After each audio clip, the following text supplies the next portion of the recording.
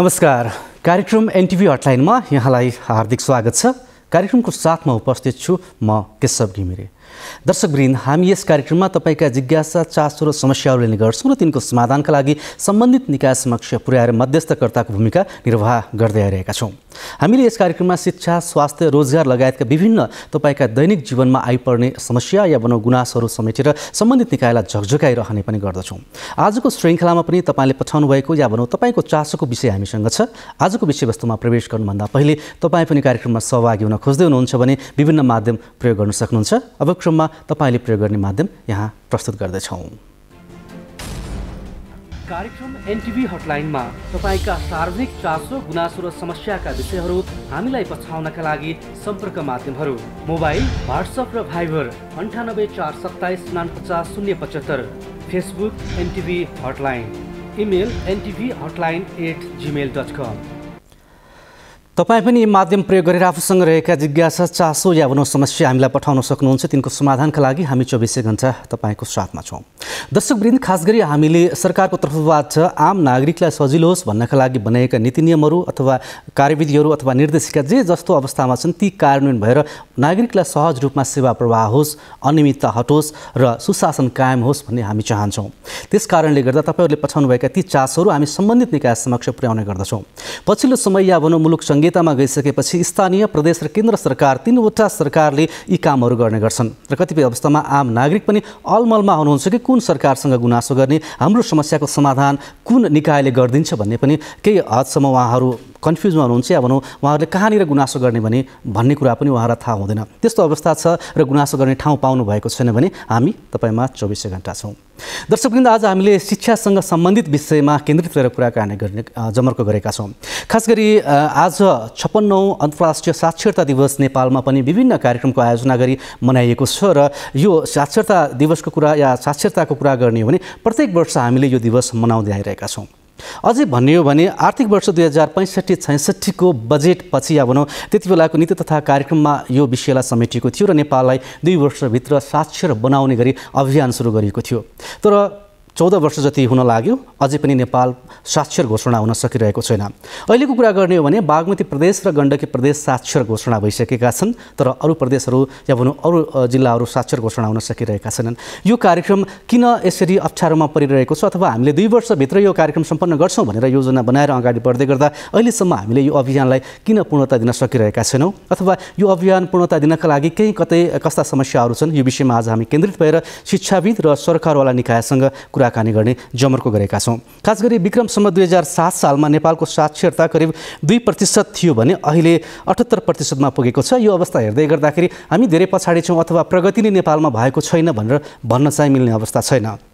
पछिल्लो समय साक्षरताको कुरा गर्दाखेरि कतिपय ठाउँमा स्थानीय सरकारले गर्ने कि केन्द्र सरकारले गर्ने कि प्रदेश सरकारले गर्ने कि केही अलमलका पाटाहरू पनि देखिएका छन्। कार्यविभाजनको कुरा होला अथवा त्यसलाई कसले आफ्नो अपनत्व लिएर अगाडि बढाउने कुरा होला यी विविध विषयमा केही समस्याहरू देखिएका छन्।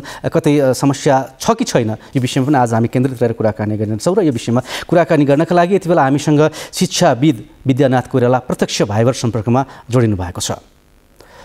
विद्यानाथ सर यहाँलाई कार्यक्रममा स्वागत छ। नमस्कार हजुर। कार्यक्रमको पृष्ठभूमिमा पनि मैले केही कुराहरू उल्लेख गरेको छु। यो कुरा हजुरले पनि सुन्नुभएको छ। अहिले अब नेपालको साक्षरताको अवस्था कस्तो छ यहीँबाट कुराकानी सुरु गरौँ। हामीले यो दिवस मनाइरहँदाखेरि।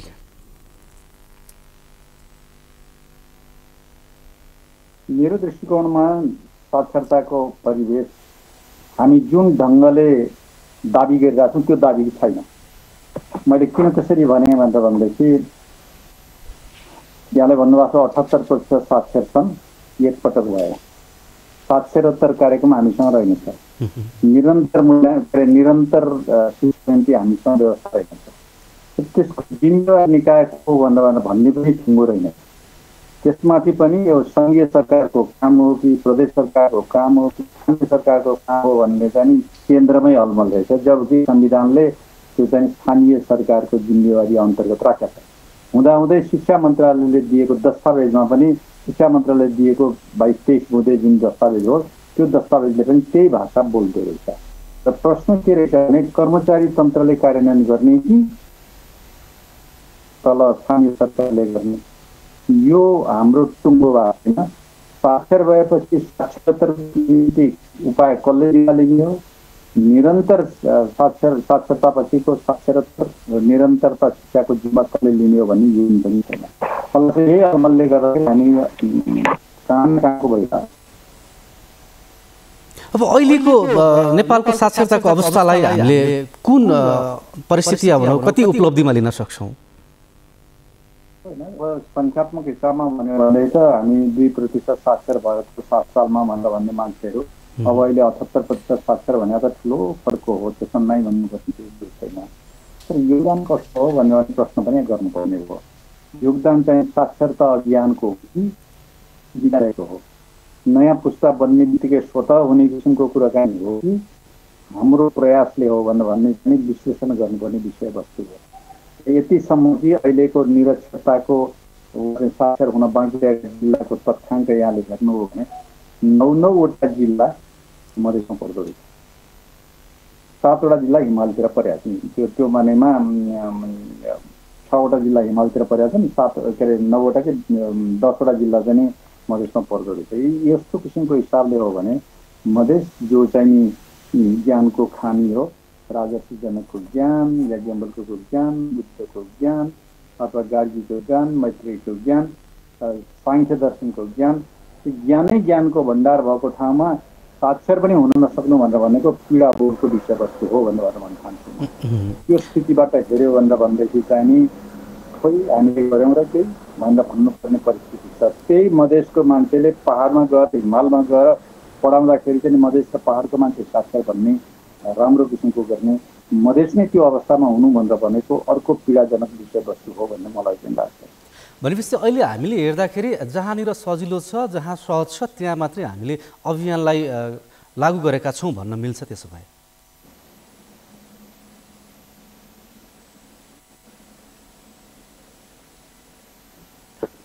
विद्यनाथ सर हामीलाई सुन्दै हुनुहुन्छ? यहाँसँग मैले प्रसङ्ग जोड्दै थिएँ कि अब अहिलेको तपाईँले हिमाल या भनौँ तराईको जुन साक्षरताको जिल्लाहरूमा अलिकति। साक्षर हुन बाँकी रहेका जिल्लाहरूको कुरा गर्नुभयो। यो तथ्याङ्क हेर्दै गर्दा हामीले अब जहाँ सहज छ सजिलो छ त्यहाँ मात्रै सरकारका कार्यक्रमलाई भन्न खोज्नु भएको तपाईँले। हेलो सुनिरहेको छैन है हजुर मलाई सुन्दै हुनुहुन्छ हजुर। हजुर सुनिरहेको छैन। एकदम सानो छ सानो आइरहेको छ आवाज। अहिले सुन्दै हुनुहुन्छ? हामी यति बेला शिक्षाविद विद्यानाथ कोइरालासँग कुराकानी गरिरहेका छौँ। विद्या सर हामीलाई सुन्दै हुनुहुन्छ? उहाँसँग हामीले खास गरी अहिले नेपालको साक्षरताको अवस्था कस्तो छ र त्यो अवस्थालाई हामीले कति मापन गर्दाखेरि कुन तहको उपलब्धिमा लिन सक्छौँ भनेर कुराकानी गरिरहेका छौँ र उहाँले भनेअनुसार जुन तथ्याङ्गत रूपमा हेर्ने भने मधेसका नौ जिल्ला जुन तराई क्षेत्रका र हिमालका पाँच जिल्लाहरू साक्षरता हुन या भनौँ साक्षरता घोषणा हुन बाँकी छ। यो अवस्थाले हेर्दाखेरि जहाँ सजिलो छ त्यहाँ मात्रै हामी कार्यक्रम लागू गरिरहेका छौँ अथवा त्यहाँ मात्रै हामीले कार्यक्रम लैरहेका छौँ कि भनेर भन्न मिल्ने अवस्था हो कि होइन यो विषयमा हामी उहाँसँग जानकारी लिन खोज्दैछौँ। खास गरी अलिकति समन्वयको अभावले अथवा कर्मचारी अथवा कसले यो कार्यक्रमलाई अगाडि बढाउने भन्ने विषयमा पनि केही समस्या देखियो र यो हामीले सोचे अनुसारको उपलब्धि होइन भनेर उहाँले भन्दै हुनुहुन्थ्यो। हामी फेरि उहाँसँग जोडिँदैछौँ। विद्या सर हामीलाई सुन्दै हुनुहुन्छ। हजुर मजा।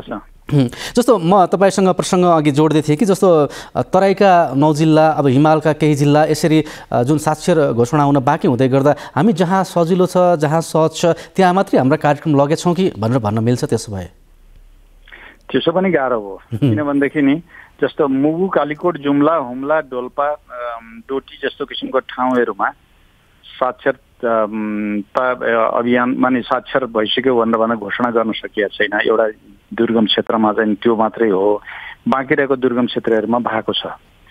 तर के भने साक्षर हुन बाँकी भएको जिल्लालाई एकचोटि हेर्नुभयो भनेदेखि सप्तरी सिराहा धनुषा महोत्तरी सर्लाही रौतहट बारा पर्सा कपिलवस्तु कञ्चनपुर पर्छ अब यसरी हेर्दाखेरि त झन् जहाँ सजिलो त्यहाँ चाहिँ पुगेनछौँ कि क्या हो भन्ने भयो। अथवा हामीले चाहिँ थोरै सङ्ख्या भएको ठाउँमा गऱ्यौँ भनेर फुर्ती लाएर यदि एउटा जिल्ला पो भन्यौँ कि त हाम्रो चाहिँ नि त्यो स्थिति रह्यो भनेर भनेर भन्ने पो देखिन्छ।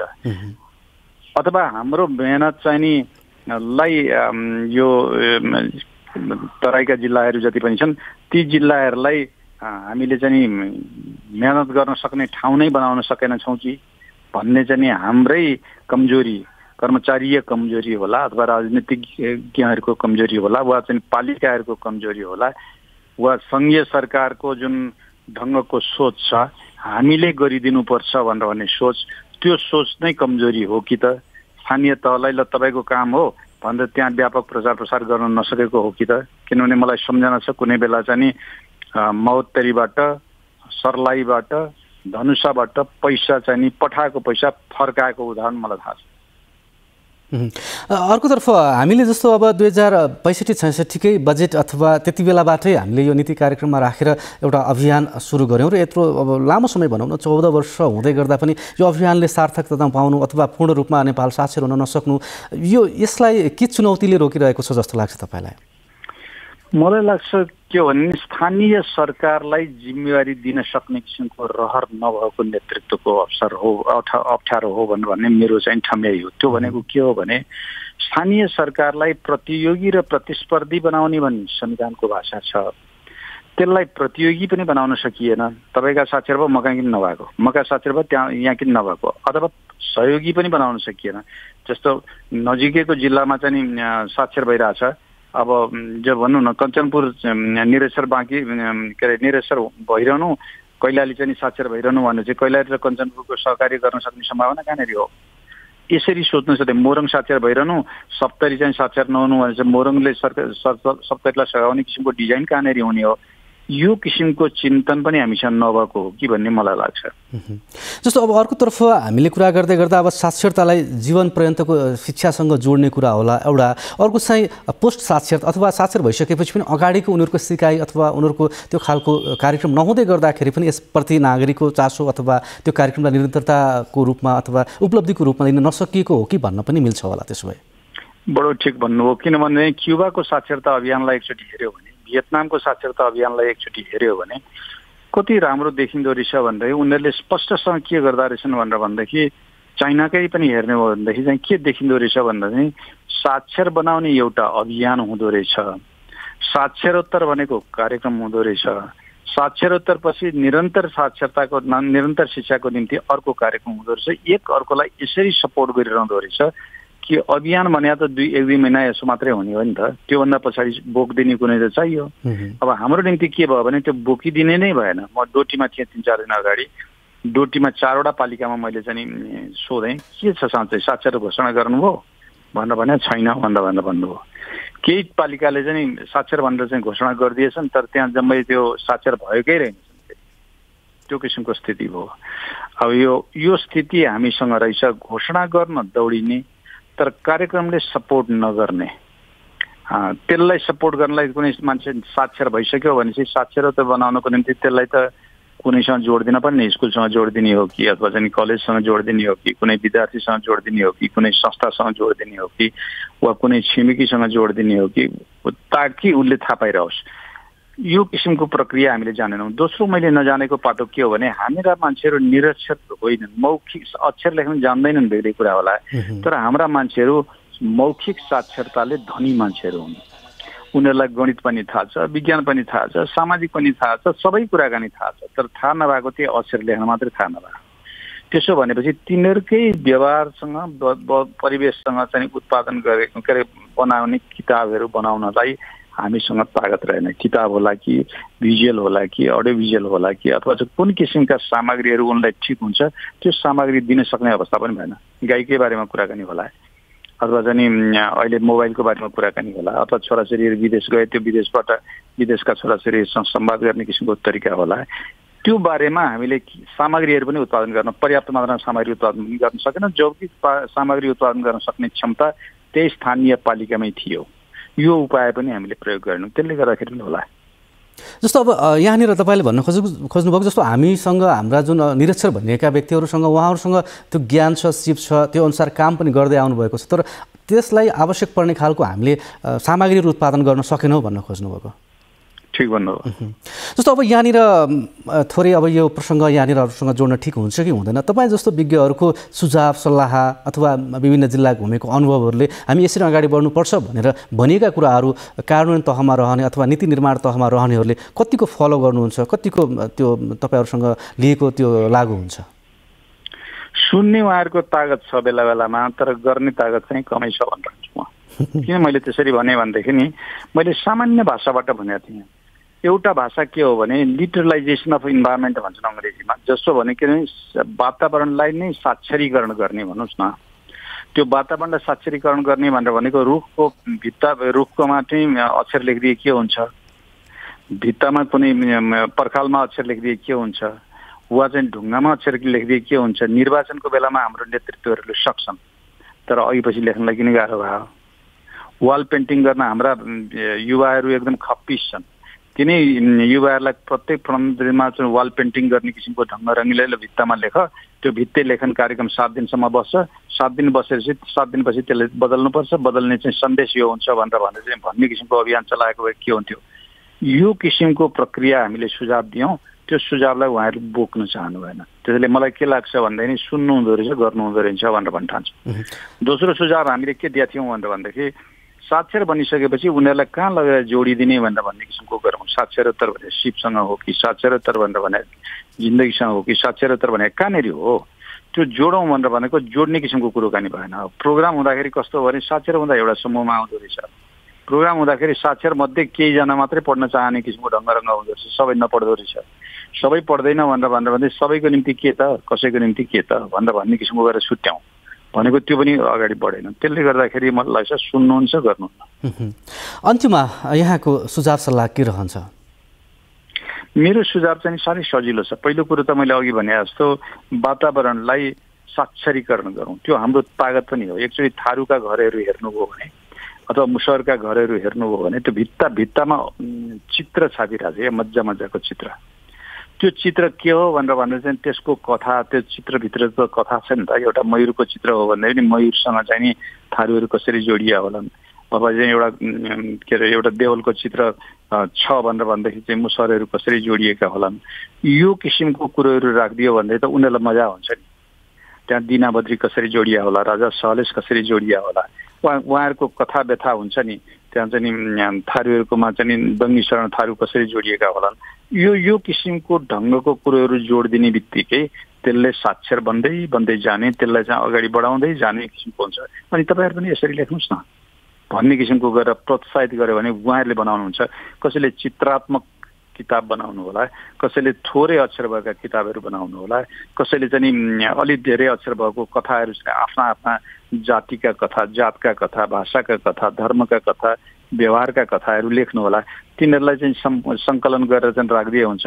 वा उहाँहरूले सक्नु भएन भनेदेखि चाहिँ अडियो त बनाउन सकिन्छ नि त। त्यो अडियो सुनेर ल अडियो यो अडियोबाट मैले चाहिँ यो लेखेँ हेर्नुहोस् त। यहाँले नै बोल्नुभएको यसरी चाहिँ लेखिदियो भनेदेखि के हुन्छ?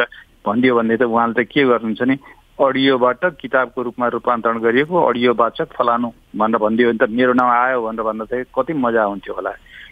यसरी त्यस्तै गरेर भिजुअल त्यसैमा चाहिँ भिजुअल बनाइदिने अलिकति अक्षर टुक्क गरेर चाहिँ स्क्रोल गरेर देखाइदिने माथि भिजुअल देखाइदिने त्यो स्क्रोल गरेको अक्षर यहाँले पढ्न सक्नुहुन्छ। भनेर भनिदिने त्यो स्क्रोल गरेको अक्षर पनि उनको मातृभाषाबाट हो। त्यसपछि नेपाली पनि जोडिदिने त्यहाँ अङ्ग्रेजी पनि राखिदिने। किनभने साक्षरताको अभियानमा पनि अब अङ्ग्रेजी खोजे मान्छेले। त्यसो हुँदाखेरि मातृभाषा नेपाली भाषा र अङ्ग्रेजी भाषा। अझ सकिन्छ भने मातृभाषा र नेपाली भाषा जोड्नलाई सकिने किसिमको सम्भावना छ भने अक्षरहरू जोड्ने कसरी होला शब्द जोड्ने कसरी होला व्याकरण जोड्ने कसरी होला एक दुईवटा क्ल्युहरू टक्क राखिदिने। त्यो किसिमको ढङ्गको गरिदियो भने अनि बिस्तारै चाहिँ के बन्थ्यो भनेर भन्दाखेरि मान्छेलाई मेरो सम्पत्ति भनेर भन्ने महसुस पनि हुन्थ्यो। मैले साक्षर बन्नुपर्छ भन्ने किसिमको प्रभाव पनि त्यसमा पर्थ्यो। र उहाँ त साक्षर त हो रहेछ तर मौखिक साक्षर मात्रै रहेछ अब लिखित साक्षरमा जानलाई यो किसिमको तरिका गर्नुपर्छ भनेर भन्न सकिन्छ। त्यहीँनिर अझ तागतवाल बन्दोबस्त छ अहिले। त्यो भनेको के भने एनिमेसन गर्ने तरिका हो।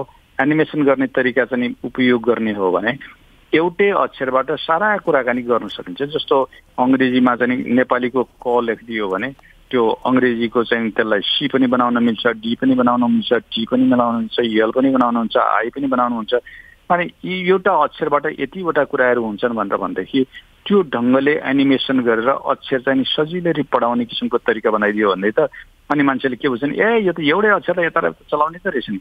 त्यो धान पनि हुन्थ्यो तरिका पनि हुन्थ्यो। मलाई लाग्छ यति गरिदियो भने त मजासँग चलाउन सकिन्छ साथी हुन्छ यो समय र जानकारीको लागि यहाँलाई धेरै धेरै धन्यवाद छ। मलाई पनि अवसर दिनुभएकोमा आभार व्यक्त गर्छु नमस्कार। उहाँ। हुनुहुन्थ्यो शिक्षाविद विद्यानाथ कोइराला र हामीले उहाँसँग आज हामीले छप्पन्नौ अन्तर्राष्ट्रिय साक्षरता दिवस मनाउँदै गर्दाखेरिको परिस्थितिमा नेपाल कुन अवस्थामा छ र के गर्नुपर्छ के गर्यो भने साक्षरता अब हामीले पूर्ण गर्न सक्छौँ भनेर यो विषयमा कुराकानी गरेका थियौँ। खास गरी यस वर्षको नारा साक्षरता सिकाइ क्षेत्रमा रूपान्तरण भन्ने राखिएको छ र अझ यो नारालाई परिष्कृत गर्नको लागि या भनौँ सबैलाई साक्षरता बनाउनको लागि साक्षरता र जीवन पर्यन्त शिक्षा या भनौँ हाम्रो वातावरणसँगै साक्षरता या शिक्षालाई जोडेर अगाडि बढ्यौँ भने हामी यसमा अझै सफल हुन सक्छौँ भन्ने खालको उहाँको कुरा पनि थियो। यसै विषयमा केन्द्रित रहेर हामी कुराकानी गर्दैछौँ र हामीसँग कुराकानी गर्नका लागि यति बेला शिक्षा तथा मानव स्रोत विकास केन्द्रका निर्देशक निलकण्ठ ढकाल प्रत्यक्ष भाइबर सम्पर्कमा हुनुहुन्छ। निर्देशकज्यू यहाँलाई कार्यक्रममा स्वागत छ। हस् नमस्कार हार्दिक धन्यवाद। निर्देशकज्यू हामीले सन्दा अगाडि शिक्षाविद विद्यानाथ कोरेलासँग कुराकानी गरेका छौँ। उहाँसँगबाट आएका केही जिज्ञासा र चासो तपाईँसँग कार्यक्रममा जोड्ने नै छौँ। तर कार्यक्रमको सुरुवात गरौँ। हामीले दुई वर्षभित्र नेपाललाई साक्षर बनाउँछौँ भनेर जुन खालको अभियान सुरु गऱ्यौँ पैँसठी छैसठीबाट तर अहिलेसम्म आउँदा आउँदैखेरि अथवा यति बेलाको नेपालको साक्षरताको अवस्था कस्तो छ? एकदम धन्यवाद छ हजुरलाई अहिले आज हामी यो छप्पन्नौ अन्तर्राष्ट्रिय साक्षरता दिवस ट्रान्सफर्मिङ लिट्रेसी लर्निङ स्पेसेस भन्ने मूल आदर्श वाक्यका साथ आज हामीले मनाइरहेका छौँ र आजसम्म आइपुग्दाखेरि चाहिँ नेपाललाई अझै साक्षर नेपाल घोषणा गर्न सकिरहेको अवस्था छैन र आजको दिनसम्म आइपुग्दा हाम्रो बैसठीवटा जिल्लाहरू आज कञ्चनपुर जिल्ला साक्षर जिल्ला घोषणा गर्दै हुनुहुन्छ। बैसठी जिल्लाहरू साक्षर जिल्लाको रूपमा घोषणा भएका छन् भने यसभन्दा अगाडि दुईवटा प्रदेशहरू साक्षर साक्षर प्रदेशको रूपमा घोषणा भइसकेको अवस्था हो र आज प्रदेश नम्बर एकले पनि साक्षर प्रदेश घोषणा गर्दै हुनुहुन्छ। यस अर्थले हेर्दा आजको दिनसम्ममा आउँदा तिनवटा प्रदेशहरू र बैसठीवटा जिल्लाहरू साक्षर जिल्लाको रूपमा साक्षर प्रदेशको रूपमा घोषणा भइसकेको अवस्था छ। यद्यपि अब अझै हामीसँग चाहिँ पन्ध्रवटा जिल्लाहरू साक्षर जिल्लाको रूपमा घोषणा गर्नुपर्नेछ र पन्ध्रवटा जिल्लाहरूमध्ये पनि खास गरी खास गरी एक सय एक सय छ्यात्तरवटा स्थानीय तहहरूलाई अब हामीले साक्षर घोषणा गऱ्यौँ भने नेपाललाई साक्षर घोषणा गर्न सकिने अवस्था छ। र जहाँसम्म साक्षरताको कुरा छ साक्षरतालाई हेर्दा हामीले एउटा विद्यालय उमेर समूहका बालबालिकाहरूको साक्षरतालाई हामीले हेर्छौँ। एउटा पन्ध्र वर्षभन्दा माथिको चाहिँ साक्षरतालाई हामी हेर्छौँ र एउटा खास गरी पन्ध्रदेखि चौबिस वर्ष उमेरसम्मको साक्षरता हुन्छ।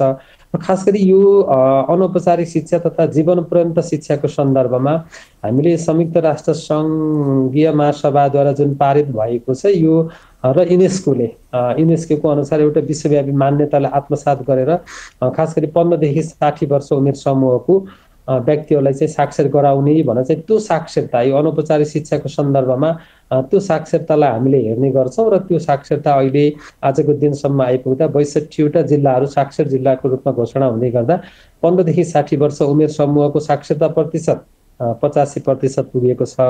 पन्चानब्बे प्रतिशत पुग्यो भनेदेखि नेपाललाई चाहिँ साक्षर नेपाल घोषणा गर्न मिल्छ।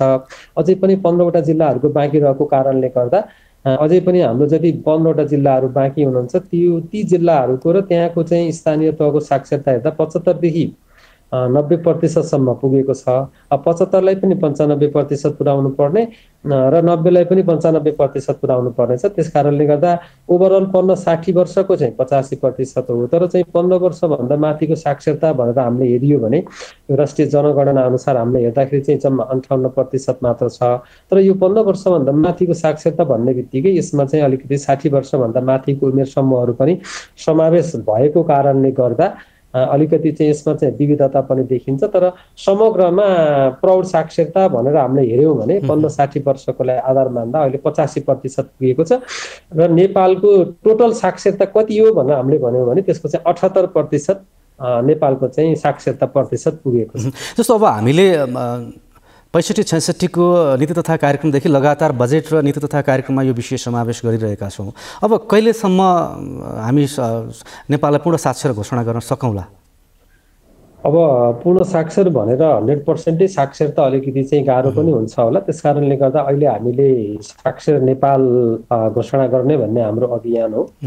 यहाँले उल्लेख गरेको अनुसार झन्डै साक्षरताको क्षेत्रमा हामीले पन्ध्र सोह्र वर्षको कार्यक्रमहरू पनि सञ्चालन गरियो।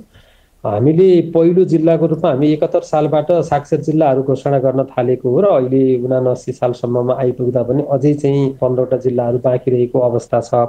त्यस कारणले गर्दा अब भनेको अलिकति चाहिँ च्यालेन्जिङ छ। अबका जिल्लाहरू भनेको हामीलाई चाहिँ खास गरी मध्य प्रदेशको आठवटा जिल्लाहरू र कर्णाली प्रदेशको पाँचवटा जिल्लाहरूलाई चाहिँ साक्षर बनाउनु पर्नेछ र हामीसँग अहिले वास्तविक पन्ध्रदेखि साठी वर्ष उमेर समूहको निरक्षरहरूको वास्तविक तथ्याङ्क पनि अलिकति अध्यावधिक नभएको कारणले गर्दा अहिले हामीले स्थानीय तहहरू मार्फत सामुदायिक सिकाइ केन्द्रहरू मार्फत पन्ध्र साठी वर्ष उमेरसम्मको निरक्षरताहरूको तथ्याङ्क सङ्कलन गर्दैछौँ र यो आर्थिक वर्षभित्रमा कर्णाली प्रदेशको केही जिल्लाहरू र मध्य प्रदेशको जिल्लाहरू त नभनौँ तर मध्य प्रदेशको एक सय छत्तिसवटा स्थानीय तहहरूमध्ये पनि कम्तीमा पचासवटा स्थानीय तहहरूलाई यस वर्षभित्र साक्षर गराउने र आगामी वर्षभित्रमा निरक्षरहरूको पनि तथ्याङ्क सङ्कलन गरिसके पछाडि आगामी आर्थिक वर्षभित्रमा अब सबै जिल्लाहरूलाई साक्षर जिल्ला घोषणा गर्ने सबै प्रदेशहरूलाई घोषणा गरेर सम्भवतः अर्को वर्षसम्ममा हामीले चाहिँ साक्षर नेपाल घोषणा गर्न सक्ने भन्ने चाहिँ जुन लक्ष्यका साथ हामी अगाडि बढिरहेका छौँ। र यो साक्षरताको सन्दर्भमा म के पनि जोड्न चाहन्छु भने अलिकति यसको चाहिँ मोडालिटीमा चेन्ज गर्नुपर्ने जरुरी छ। म पनि यो प्रसङ्गमा जोडिँदै थिएँ तपाईँसँग। जस्तो कि हामीले चौसठी पैँसठी पैँसठी छैसठीबाट सुरु गर्दाखेरिको त्यति बेलाको साक्षरताको अवस्था र अहिलेको उनासी सालमा आउँदै गर्दाखेरि धेरै परिवर्तन भइसक्यो होला। साक्षर पनि के विषयमा गराउने कस्तो खालको दिने ज्ञान र मौखिक ज्ञान त हामीसँग छँदैछ नि त। अब त्यति बेला प्रविधि चाहिएको थिएन होला अहिले प्रविधिको कुराहरू आइरह्यो होला। यो विषयमा पनि तपाईँहरू तयारी त पक्कै गर्नुभएको छ होला। अब साक्षरतालाई हेर्दा दुई किसिमबाट हेर्नुपर्ने। एउटा समाजको आवश्यकताले चाहिँ प्रविधिलाई पनि लिट्रेसीको चाहिँ तर्फ हेरेको छ भने अर्कोतर्फ सामान्यतया पढ्न लेख्न नजान्ने व्यक्तिहरूलाई पनि साक्षर गराउनु पर्ने र पढ्न लेख्न जानेकोलाई पनि प्रविधिसँग परिचित गराउनु पर्ने भएको कारणले गर्दा अलिकति यो दुई किसिमको चाहिँ भार देखिन्छ। त्यस कारणले गर्दा पहिलो फोकस भनेको पन्ध्र साठी वर्ष उमेर समूहको अक्षर जान्न नसक्नेहरूलाई चाहिँ साक्षरताको बाह्रवटा चाहिँ इन्डिकेटरहरू छ। त्यो इन्डिकेटरहरू भनेको दैनिक जीवनमा प्रयोग हुने दैनिक जीवनमा व्यवहारमा प्रयोग आउने कुराहरू छन्। तिनीहरूलाई पहिला साक्षर गराउनु पर्यो र त्यति भइसके पछाडि अनि त्यस पछाडि उहाँहरूको चाहिँ क्षमता अनुसार प्रविधितर्फ पनि अब हामी जानुपर्छ किनभने मुलुक प्रविधिमा प्रवेश गरिसकेको छ। परम्परागत साक्षरताको कुरालाई भन्दा पनि प्रविधिको प्रयोगलाई जोड दिएर जीविको जीवन स्तर सुधार गर्ने र अनि त्यस पछाडि चाहिँ व्यवसायमा लाग्ने गरेर चाहिँ प्रविधिमा जोड दिनुपर्छ भनेर हामीले लागि छ। तर अब सामान्य लेखपढ गर्न पनि नजान्ने व्यक्तिहरूलाई चाहिँ प्रौढहरूलाई चाहिँ सिधै प्रविधिमा लानुभन्दा पनि अलिकति चाहिँ यो जुन साक्षरताका सूचकहरू प्राप्त गरिसके पछाडि त्यतातर्फ अगाडि बढ्ने भनेर हामी लागेका छौँ। त्यस अर्थले गर्दा पनि अलिकति चाहिँ पहिला साक्षर बनाउँ अनि त्यो परम्परागत कुराहरूलाई हामी साक्षर गराउँ साक्षर गराउन पनि कम्तीमा पनि त्यो सूचकहरूको आधारमा एक महिनाभित्र त्यो मोडालिटी भनेको पनि अब चाहिँ हामी चाहिँ विद्यार्थीहरू शिक्षकहरूलाई परिचालन गरेर समुदाय परिचालन गर्ने अनि विभिन्न सङ्घ संस्थाहरूको चाहिँ सहयोगमा समन्वयमा सहकार्यमा चाहिँ अलिकति चाहिँ व्यापक रूपबाट हामी दुई वर्षमा लाग्यौँ भनेदेखि चाहिँ हामी यो सम्भव पनि छ। र हामी साक्षर घोषणा गराइसके पछाडि अनि दोस्रो स्टेपमा हामी चाहिँ अलिकति प्रविधिलाई पनि जोड दिएर आय आर्जन र जीवनस्तरमा सुधार गर्ने भनेर चाहिँ जस्तो अब हामीले साक्षरता सँगसँगै अब पोस्ट साक्षरको कुरा पनि गर्नुपर्ने स्थिति आएको छ किनकि निरन्तर नहुँदै गर्दाखेरि मानिसहरूले जानेको कुराहरू पनि बिर्सिसके अथवा बिर्सन थाले भन्ने कुरा छ यसतर्फ के छ हजुरहरूको तयारी? हजुरले उठाउनु भएको अत्यन्त सान्दर्भिक कुरो हो। हामीले चाहिँ साक्षर घोषणा गर्ने भन्ने अभियानको साथमा हामी गइरहँदा हामीले साक्षर घोषणा गरेका व्यक्तिहरू फेरि अहिले निरक्षर हुनुभयो कि भन्ने प्रश्नहरू पनि नउठ्ने होइन। त्यस कारणले गर्दा हामीलाई यति लामो समय यो साक्षर घोषणा गर्न लाग्छ भन्ने जस्तो लागेन। त्यस कारणले गर्दा हामीले साक्षर गरिसकेको ठाउँमा चाहिँ यो पोस्ट लिट्रेसीको प्रोग्रामहरू सञ्चालन गर्न सकेनौँ।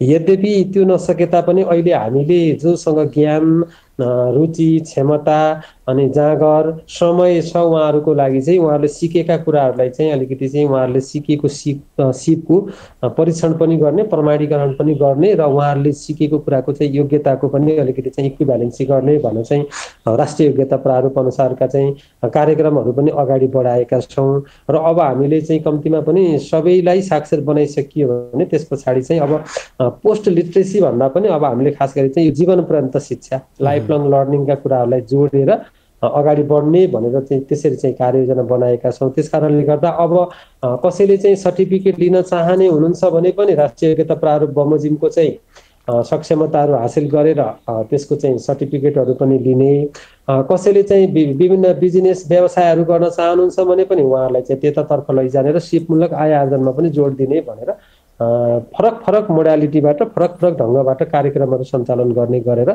अब यो कार्यक्रमहरू राखिएको छ।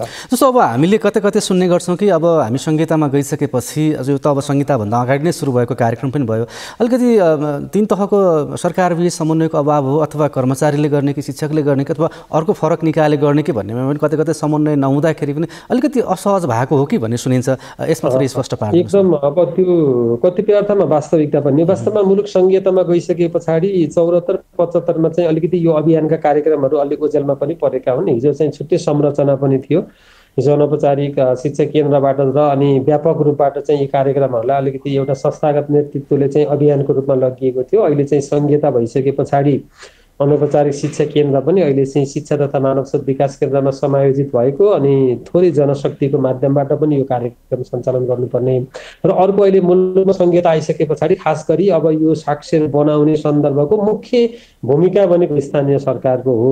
सङ्घीय सरकारको भनेको सहयोग समन्वय सहजीकरण र आवश्यकताका आधारमा केही प्रोत्साहन अनुदानहरू चाहिँ स्थानीय तहहरूलाई दिने गरी सङ्घीय सरकारले समन्वय गरेको छ। त्यस कारणले गर्दा मुख्य जिम्मेवार स्थानीय तह नै हो। त्यस कारणले गर्दा अहिले अलिकति स्थानीय तहलाई जिम्मेवार बनाउनको लागि हामीले चाहिँ समय समयमा स्थानीय तहमा गएर चाहिँ अलिकति समन्वय सहजीकरण गर्ने भनेर पनि त्यसरी चाहिँ हामी चाहिँ अभिमुखीकरण गरिराखेका छौँ र स्थानीय तहहरूले पनि त्यसरी चाहिँ काम गरिरहनु भएको छ र हामीले स्थानीय तहहरूलाई पनि अलिकति चाहिँ समन्वय सहजीकरण गर्नको लागि र उहाँहरूलाई पनि उहाँहरूलाई पनि अलिकति चाहिँ यो कार्यक्रमप्रति चाहिँ मोटिभेट गर्नको लागि पनि अलिकति एउटा प्रस्तावनामा आधारित अनुदान भनेर जसले साक्षर घोषणा गर्न सक्नुहुन्छ उहाँलाई निश्चित चाहिँ पुरस्कार पुरस्कार स्वरूप एउटा इन्सेन्टिभहरू दिने भन्न पनि हामीले केही बजेट पनि हामीले पनि राखेका छौँ। र अलिकति चाहिँ समन्वय हो यहाँले भने जस्तै गरी चाहिँ तिनवटै सरकार र अनि खास गरी चाहिँ अलिकति अन्तर्राष्ट्रिय तथा राष्ट्रिय गैर सरकारी संस्थाहरू र नागरिक समाजदेखि लिएर सबैको भूमिकामा चाहिँ यो अभियान सफल हुने हो होइन?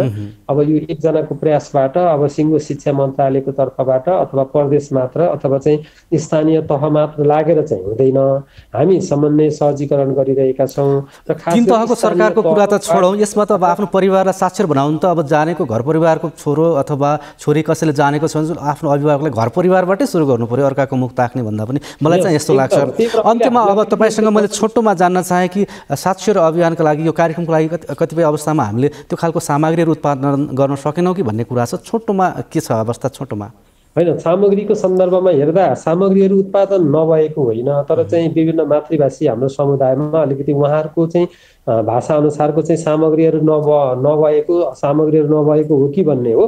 तैपनि आज हामीले चाहिँ भर्खर मात्र हामीले चाहिँ एउटा औपचारिक कार्यक्रम पनि समापन गरेका छौँ। हामीले अहिले खास गरी मध्य प्रदेशलाई लक्षित गरेर अलिकति त्यहाँको चाहिँ मैथिली भाषामा भोजपुरी भाषामा अलिकति चाहिँ यो साक्षरतासँग सम्बन्धित सिकाइ सामग्रीहरू विगतको हाम्रो यो निरन्तर शिक्षाका सामग्रीहरूलाई पनि अलिकति चाहिँ मैथिली र भोजपुरी भाषामा चाहिँ पहिलोचोटि संस्करण गरेर अलिकति चाहिँ परिमार्जन गरेर अध्यावधि गरेर चाहिँ सार्वजनिक गरेका छौँ। र अहिले हामीले फोकस गरेको भनेको अब त्यो निरन्तर शिक्षालाई भन्दा पनि यो साक्षरताका बाह्रवटा सूचाङ्कहरूलाई आधार मानेर डिजिटल लर्निङ सामग्रीहरू पनि बनाउने विभिन्न मातृभाषामा पनि ती सामग्रीहरू बनाउने र अनि स्थानीय तहबाट चाहिँ त्यो सहजीकरण गर्ने भनेर चाहिँ त्यो कार्यक्रममा हामी लागेका छौँ। हुन्छ। यो समय र जानकारीको लागि यहाँलाई धेरै धेरै धन्यवाद छ।